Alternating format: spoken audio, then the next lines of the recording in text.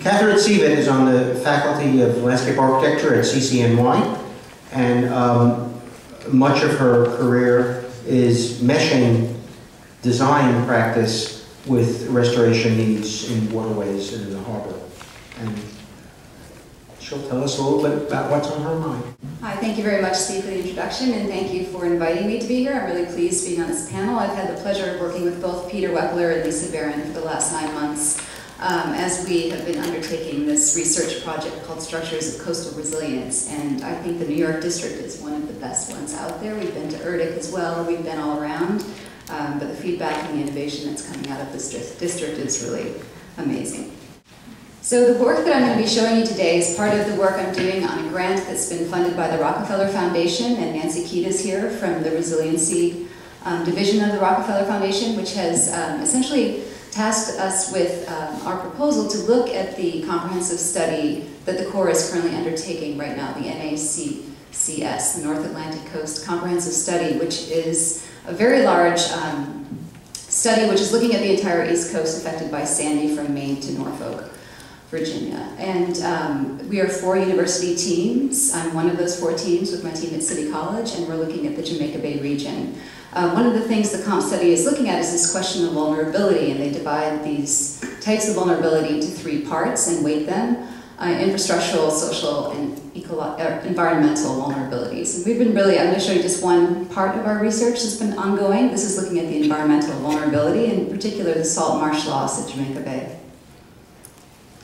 Um, you can see in the, in the light pink here is the existing marsh from 2011. Of course, there have been very, many, I think there's been about six very innovative um, marsh island restoration projects undertaken by the Corps, um, which we've quantified and studied very closely for lessons learned and how to think about being even more strategic about these marsh restorations. Uh, we've invented a kind of um, novel form of restoration that we call the island motor slash atoll terrace, which is what you see in the dark pink here. So essentially we're really trying to think about how one can use a terrace strategy or an elevated ridge as a partial perimeter structure around the footprint of a marsh, which can act as a sediment trap. So essentially we're trying to harness the forces of nature and drift through current to allow deposition to um, occur on the marsh footprint themselves. So instead of taking a cover approach to the entire marsh footprint, we create a ridge or a rim around one side. So we've been strategically thinking about where to place those ridges based on current sediment patterns. Um, of course, marshes are very fragile because they exist in very small vertical elevation zone. It's the intertidal range. And so another thing that we're very concerned about is how does the marsh that needs to be tidally inundated twice a day, how can that keep up with sea level rise? And essentially they are equipped to do that, um, keeping up through deposition and accretion. So if you can have enough sediment that accretes on the surface of the marsh, it allows the marsh, through even the decay of the plant material that's growing there, to build itself up in place. And that's how these islands continue through time, even as sea levels have risen. So what we want to do is make a, a very robust system of marsh um, so that these can rise in place, essentially. And we think that the strategy of the atoll Ridge will do that. The island motor is a kind of idea that we've drawn from the sand motor that's being studied in the Netherlands. How can we use littoral drift to um, distribute sand? Here we're thinking about how to use suspended sediment um, in a way that can actually help the marsh accrete. So what you're seeing is a kind of strategy of how those ridges would play out within the, uh, the western half of the bay. Um, and here you can see our modified um, DEM, digital elevation model. Um, as contours here. We're creating a ridge that's about four feet above NAVD88. Um, and we've quantified the volume of dredge material that would be needed for all of these ridges. Of course, you could stratify these over time strategically about when sand is available in the existing dredge maintenance, um, channel maintenance cycle of the Corps. Um, but we're really trying to see that dredge material as a valuable resource and to use it strategically in the smallest possible quantity in the maximum area again, to basically harness the processes of nature to allow more to deposit there, essentially. So for example, if you look just at, um, let's see if I can get a pointer, right in the, oh, sorry, go back. Um, not sure if there's a pointer. 12 o'clock, oh, great, yeah, okay, there it is, thank you.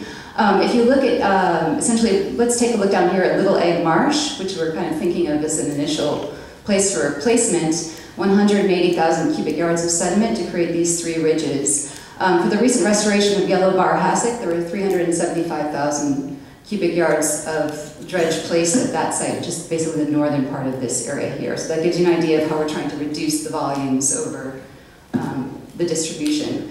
So again, we placed these ridges based on our, our um, impressions that we're further studying this with sediment movement, some of the models that Phil was talking about that aren't as fully um, available as the wave modeling. Um, but essentially, we're trying to, we place them based on our, our um, observations of how currents move, where we think the fastest current would then slow down and allow deposition to occur. However, there's another way of looking at this, and I think it speaks to Peter's point about how do you quantify the resiliency benefits of an, an ecosystem restoration project.